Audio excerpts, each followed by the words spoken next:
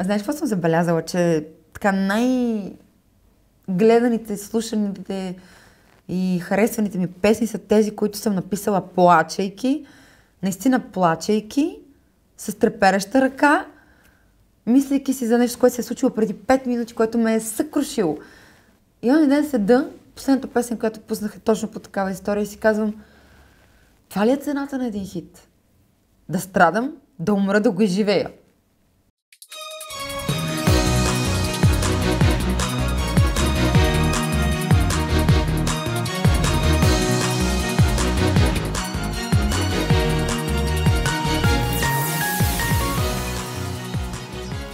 Как се грижиш за здравето си?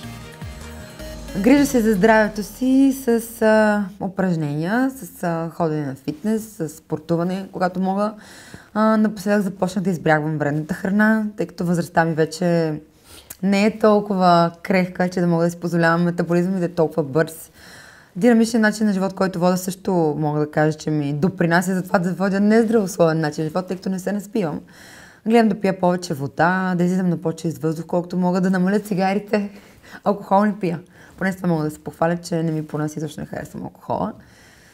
И така, може би често гледам да се наспивам, като имам тази възможност. Това е, може би, най- най-голямото нещо, което правя, за спортувам. За момента това. Има ли лекари, на които а, си благодарна и за какво?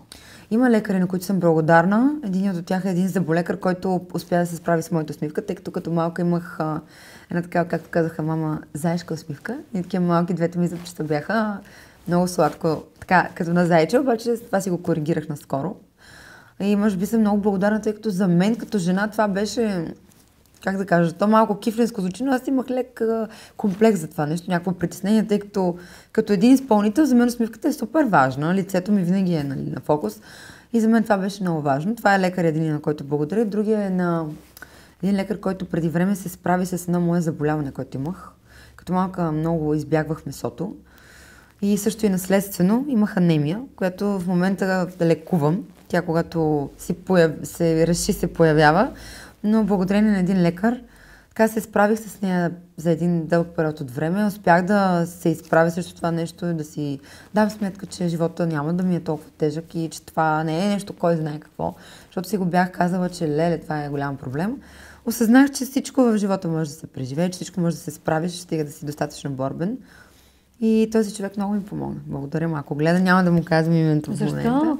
Ами, така, така съм решила. Но... Таласемия менор ли имаш преди? Мгм, да. Средиземноморските хора всички те имат. И спокойно живеят с нея.